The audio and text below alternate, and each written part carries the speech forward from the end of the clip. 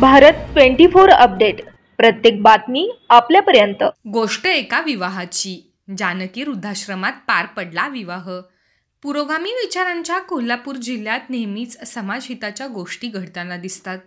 येथील घोसरवाड गावात असणाऱ्या जानकी वृद्धाश्रमात एका पंच्याहत्तर वर्षांच्या आजोबांचा विवाह सदुसष्ट वर्षांच्या आजीबरोबर लावण्यात आला. बाबूराव पाटील असं नवरदेवाचं नाव असून अनुसया शिंदे असं नवविवाहितेचं नाव आहे. विरह हा माणसाला खात असतो. बाबूराव पाटील हे मूळचे शिरोळ तालुक्यातील शिवनाकवाडी येथील तर अनुसया शिंदे ह्या पुण्याच्या. दोघंही जानकी वृद्धाश्रमात गेल्या काही वर्षापासून राहत आहेत. दिनांक चौदा फेब्रुवारी व्हॅलेंटाईन डे दिवशी बाबूराव यांनी अनुसयांना प्रपोज केले. दोघंही एकमेकांसोबत आयुष्यभर एकत्र राहण्याचा निर्णय घेतला. ही गोष्ट वृद्धाश्रमाचे संस्थापक बाबासाहेब पुजारी यांना कळाल्यानंतर त्यांनी या दोघांचं लग्न लावून देण्याचा निर्णय घेतला आणि हिंदू रीतिरिवाजानुसार त्यांचं लग्न लावून दिलं.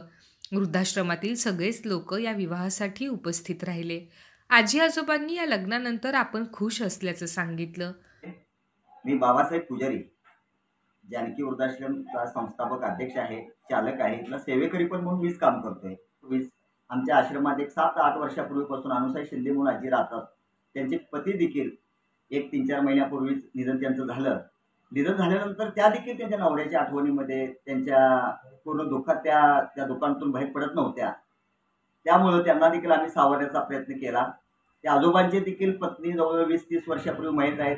ते देखील एकटे एकटे वाटत होते. त्या आजी देखील त्यांच्या नवऱ्यातले हे म्हणजे निधनातून त्या बाहेर पडत नव्हत्या. त्या दोघांना देखील एकत्र करून त्यांनी बोलणं ब बसणं त्यांचं एकमेकांचं उठणं झालं. आणि त्याचप्रमाणे आम्ही बऱ्याच ठिकाणी कॉलेजमध्ये किंवा बऱ्याच संस्थेमध्ये आम्ही कार्यक्रमाला जात असतोय. त्याच अनुषंगानं गेल्या सात तारखेला सात फेब्रुवारीपासून ते चौदा फेब्रुवारीपर्यंत आम्ही बऱ्याच कॉलेजमध्ये व्हॅलेंटाईन डेच्या निमित्तानं आम्ही जात होतो. आणि तोच धागा पकडून त्या आजोबांनी चौदा फेब्रुवारी दिवशी त्या आजीला प्रपोज केलं की तू आजी माझ्यासोबत तू लग्न करणार काय? तुला मन शेवटच्या क्षणी मी तुला साथ देतो. मरूपर्यंत तुला आम्ही दोघं एकत्र राहू असं त्यांनी एक अभिवचन घेतलं होतं. ही गोष्ट मला जेव्हा कळाली त्या दोघांना देखील आम्ही कोणत्याही पद्धतीचं न रागावता एक चांगल्या पद्धतीने आम्ही त्यांना जवळ घेतलं आणि माईनं त्यांना विचारलं तुम्ही एकत्र याला हे शेवटपर्यंत एक चांगलं गोष्ट आहे आणि तुम्हाला लागेल ती आम्ही मदत करतो. म्हणून आम्ही त्या दोघांना देखील विश्वास दाखवला. कोल्हापूर विभागीय उपसंपादक Rizwan Mujawar Bharat twenty four update news.